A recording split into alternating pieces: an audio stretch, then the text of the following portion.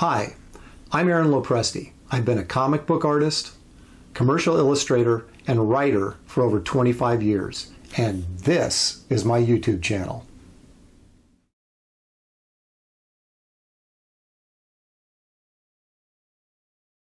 Today, with episode 4, we're going to take a slight break from the Garbage Man work to do a segment that I like to call What's on My Walls. So let's take a look. Okay, let's start with the uh, legendary Mike Ploog. This is a painting I got from Mike way back in, boy, I want to say 1993, somewhere right around the time when he had done his uh, card set. Um, this was at a show in Seattle. He had all the originals. And um, he had this one of the Abominable Snowman for sale along with many others. But this was sort of in my price range, but uh, it still wasn't because I wasn't making very much money at that period of time in my career. So I remember spending the entire show uh, talking him down in price, you know, convincing him that if he gave me a deal on it, I would never sell it. And um, he finally did. He finally came down and almost cut the price in half. So it actually had enough money to uh, to buy it, and it was uh, actually every penny I made at that show in Seattle I spent on this uh, abominable snowman painting from his uh, card set. Now this is an acrylic painting. Let me zoom in a little bit here so we can get some detail.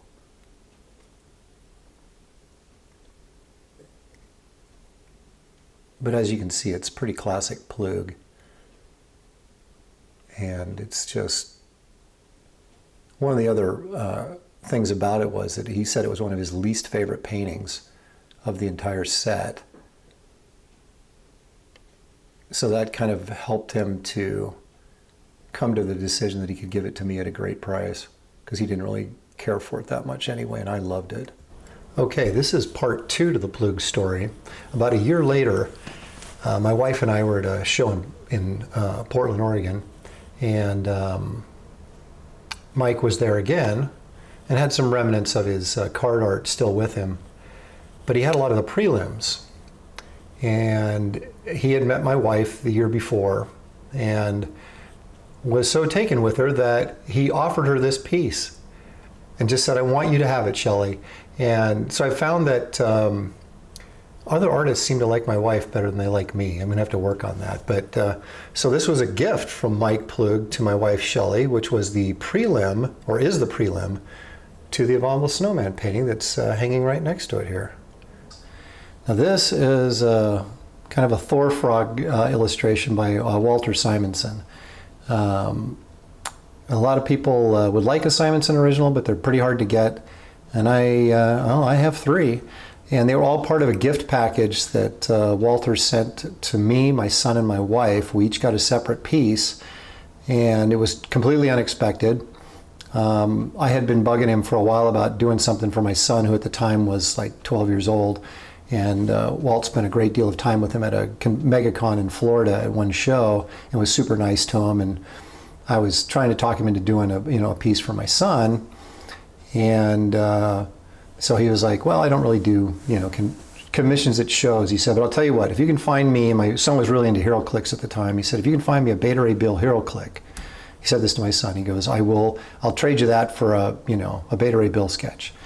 And so we were like, yeah, I grabbed him by the hand and drug him around the show. You know, And we found the we found the HeroClick, and gave it to Walter, and um, he said, okay, I'll do one at home for you, and I'll send it to you. And we said, well, thanks. You know, we are very excited uh, for that. And then, you know, I don't know, it was a month or two later, this big package showed up in the mail, and it had three, not sketches, but finished inked drawings. One of them was this uh, frog for my wife Shelley, and um, I'll show you the other two pieces here in, in a minute.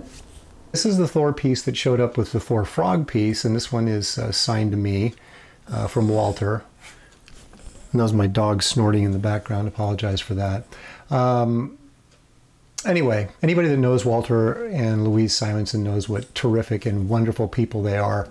And uh, I had the privilege of actually staying at uh, Walter's house on two different occasions where I got to look through all of his artwork, and it was a pretty amazing time. But uh, we are eternally grateful for uh, this gift that uh, that he, he sent us uh, several years ago um, of the three uh, illustrations. Uh, so now let's go take a look at the Beta Ray Bill. Uh, this is the one was made out to my son. This is the Beta Ray Bill illustration that he did. Um,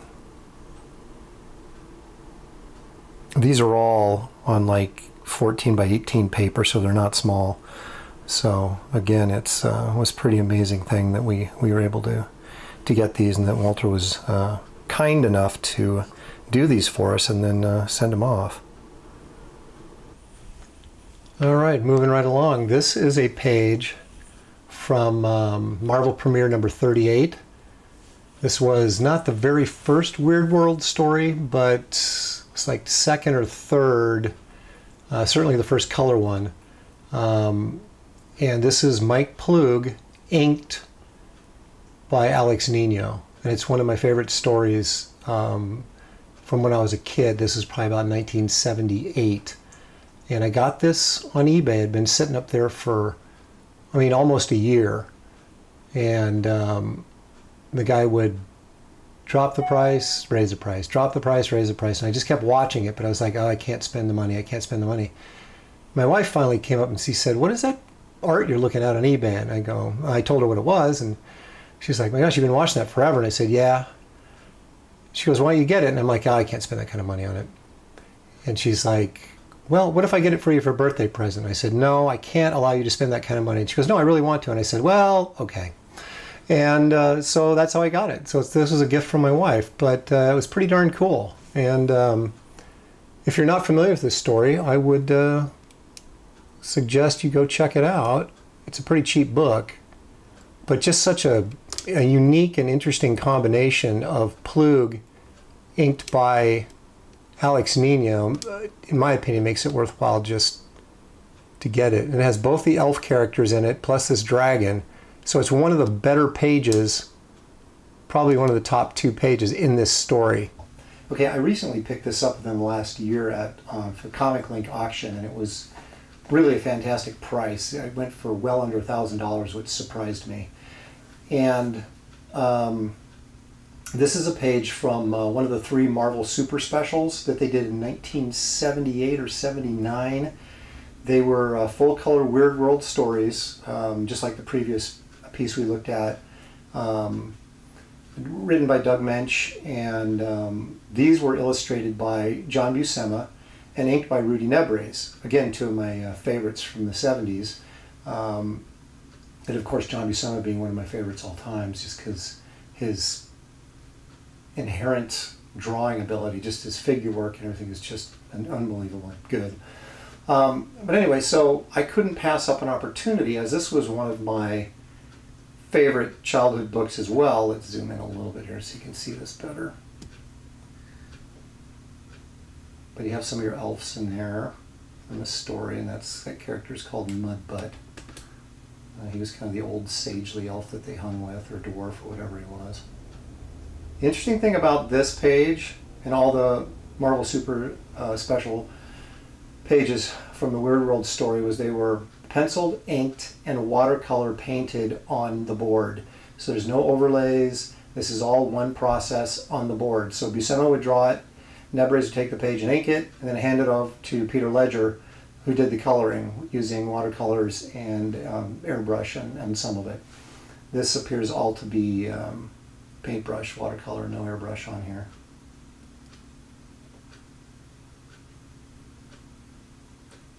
Okay, this is kind of cool, and it's not uh, regular comic book art. This is from uh, Peter de Sève, who um, is probably most famous for his New Yorker covers.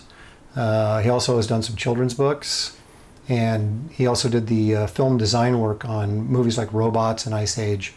Uh, so, fairly uh, prominent illustrator. Um, but he's made his rounds through Comic Con. He's been there a couple times over the years, and he was set up at Stuart Ng's booth.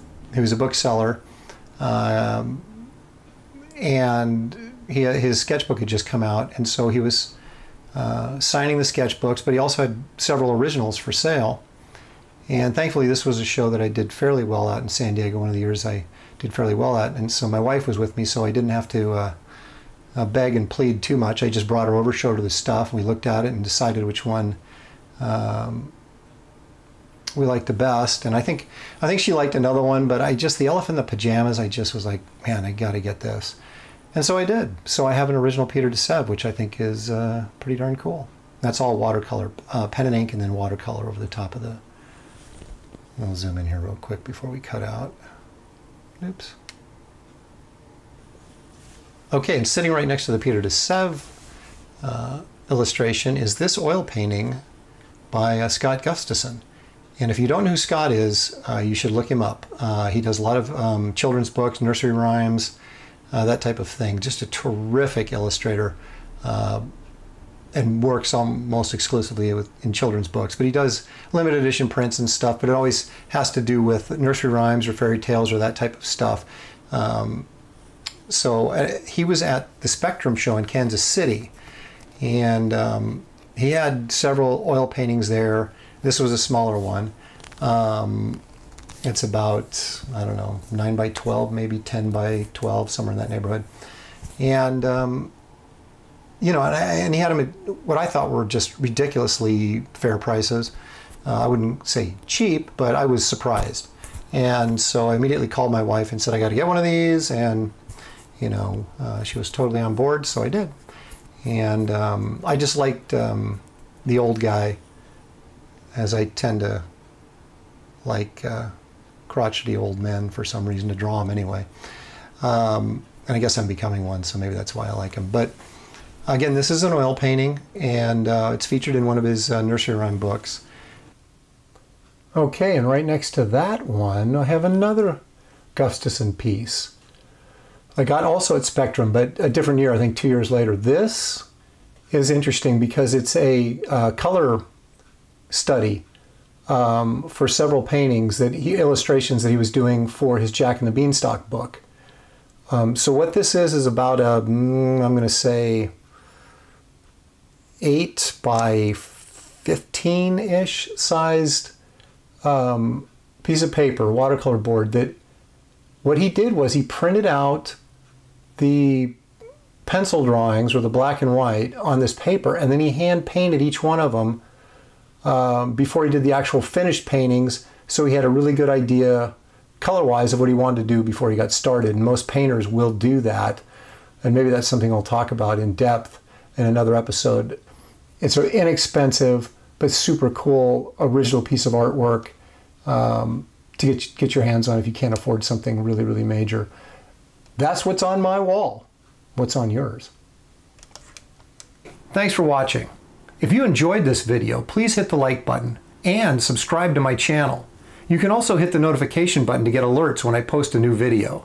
Make sure you come back by soon so you can check out my next episode.